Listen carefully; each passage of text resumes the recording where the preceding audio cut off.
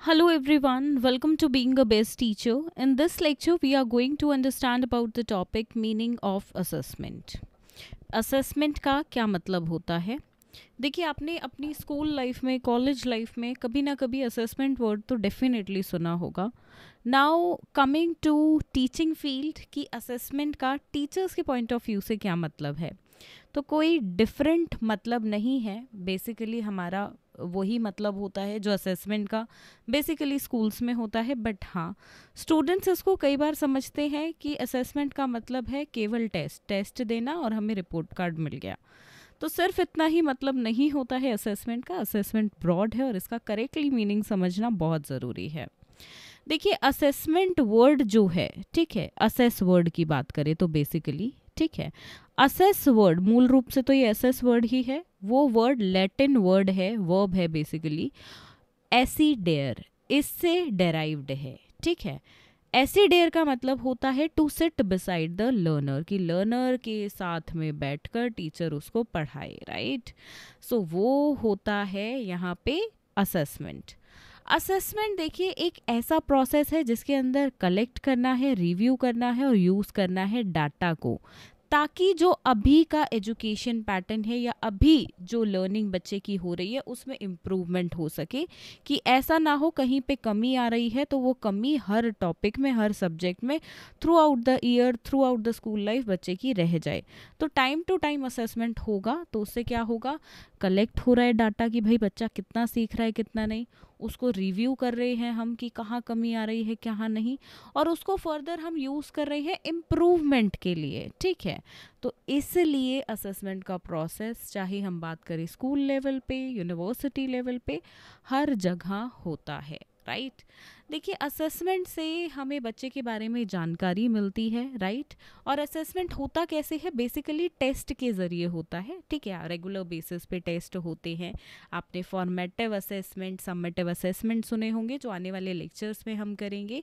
तो उनके ज़रिए जो है असेसमेंट होता है, ठीक है? अब इन ये जो टेस्ट होते हैं, देखिए असेसमेंट टेस्ट के ज़रिए हो रहा है एंड इन टेस्ट से हमें पता चलता है क्या हम कलेक्ट करते हैं डाटा रिव्यू करते हैं और पता चलता है कहाँ कमियाँ हैं और कहाँ इम्प्रूवमेंट की ज़रूरत है राइट इसलिए हमारी स्कूल लाइफ में भी देखिए टाइम टू टाइम टेस्ट होते थे हमारे जिसके बेसिस पे टीचर्स हमें असेस करती थे right okay all test are for administering assessment made under unnatural situations in other words assessment is a process of measuring performance कि बच्चे की परफॉर्मेंस कैसी है, कितनी गति से चल रही है, कितनी तेज़ी से, सही से जा रही है, नहीं जा रही है। तो वो सब चेक करने के लिए जो है क्या होता है? असेसमेंट का प्रोसेस होता है। It is also like it also test the knowledge of the students की करेंट नॉलेज बच्चों की कैसी है? क्या वो उनकी एज लेवल और क्लास लेवल के हिसाब से है या नहीं है? नहीं है तो कहाँ पे इम्प्रूवमेंट की अगेन ज़रूरत है। For the reason all test are assessment सभी टेस्ट असेसमेंट होते हैं but all assessment are not test सभी असेसमेंट टेस्ट नहीं होंगे. मे बी असेसमेंट टेस्ट के लिए टेस्ट के ज़रिए नहीं, और किसी ज़रिए से लिया जा रहा है. लेकिन अगर सिर्फ़ टेस्ट हो रहा है तो टेस्ट तो डेफिनेटली असेसमेंट का पार्ट है. लेकिन सभी, देखिए असेसमेंट केवल टेस्ट तक लिमिटेड नहीं है. इसके और भी जो है, अपने तरीके हैं. अगर यहाँ पे एडिशन में हम बात करें तो they conduct test at the end of the who teachers conduct test at the end of the lesson और यूनिट जैसे ही लेसन ख़त्म हुआ, जैसे ही यूनिट ख़त्म होती है तो एक टेस्ट बच्चों का लिया जाता है, जिसके ज़रिए बच्चों का असेसमेंट किया जाता है, बच्चों को असेस किया जाता है राइट? सिस्टमैटिक प्रोसेस है ऑर्गेनाइज्ड प्रोसेस है। आप देखते हो टेस्ट जिस तरीके से मिलते हैं ऐसा नहीं है कि कुछ भी उठा के दे दिया या पढ़ाई पहली यूनिट और टेस्ट दे दिया दूसरी यूनिट का या मैम अभी अभी दूसरी यूनिट पढ़ा के हटी है टेस्ट दे दिया पहली यूनिट का ऐसा नहीं होता। ऑर्गेनाइज सिस्टमैटिक वे में होता है। जो यूनिट अभी हाल ही में ख़त्म हुई है या जो लेसन हाल ही में ख़त्म हुआ है उसका टेस्ट लिया जाता है right by which we assess the performance of the students throughout the test Furthermore, they help in collecting data related to the skill, knowledge and attitude of the students देखिए, हम हमेशा टेस्ट में, आज के time में Indian pattern में ये हो गया है कि टेस्ट के ज़रिए बस पता लगाते हैं कि बच्चे को नॉलेज कितनी है, किताबी ज्ञान कितना है। बट यहाँ पे बहुत ज़रूरी है कि बच्चे की पर्सनालिटी और उसके एटीट्यूड को भी पर्टिकुलरली टेस्ट किया जाए, जिससे पता चले कि हाँ भाई, जो चीज़ें पढ़ाई जा रही हैं तो उससे बच्चे में बिहेवियरल चेंज भी आ रहा है या नहीं। जैसे कि अगर आप बच्चे को क्लीनलीनेस का टॉपिक पढ़ाते हो पॉल्यूशन का टॉपिक पढ़ाते हो, उसका पर्पस बिहाइंड क्या है? क्यों सुप्रीम कोर्ट ने बोला है कि यूनिवर्सिटी और स्कूल लेवल पे कंपलसरी रूप से एनवायरमेंट एजुकेशन पढ़ाना ही है, चाहे आप कोई भी कोर्स कर रहे हो, कोई भी डिग्री ले रहे हो। रीज़न वहाँ पे इसका ये होता है कि एनवायरमेंटल एजुकेशन के प्रति बच्चे कंसर्न हो, क्योंकि एनवायरनमेंट आज के टाइम में एक बहुत बड़ा इशू है। ग्लोबल वार्मिंग हो रही है, बहुत गर्मी पड़ रही है। ना जाने कितने चेंजेस आ रहे हैं, कितने डिज़ास्टर्स आ रहे हैं राइट तो उसके लिए ज़रूरी है आज के युवा को मतलब आने वाले युवा को, आज के बच्चों को जो है जागरूक किया जाए।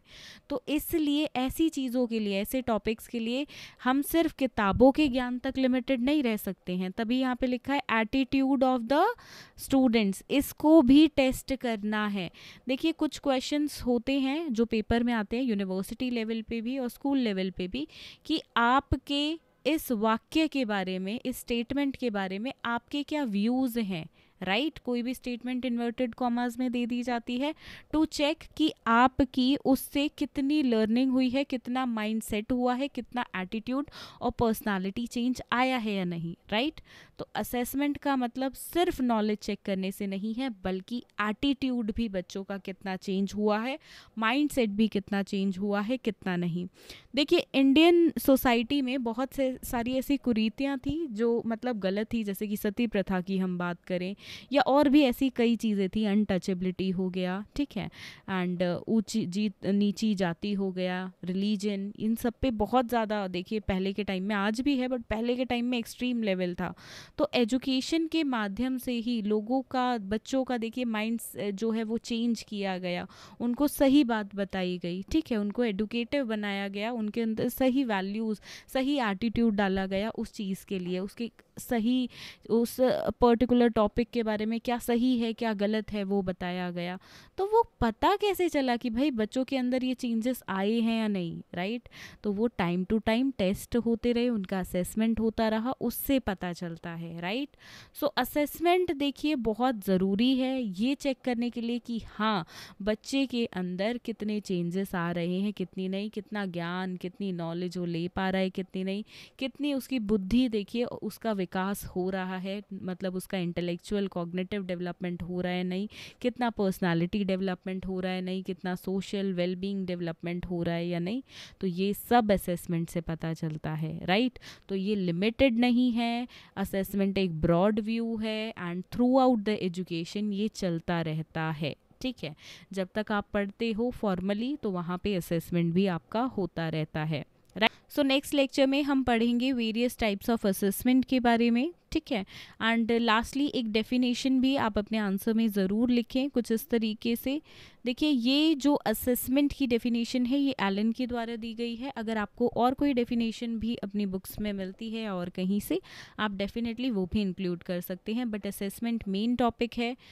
एटलीस्ट एक डेफिनेशन तो आप कंपलसरी रूप से अपने जो आंसर है उसमें इंक्लूड करें। This is going to add a spark in your answer definitely so that's it for this video hope to see you all in next lecture very soon. Thank you.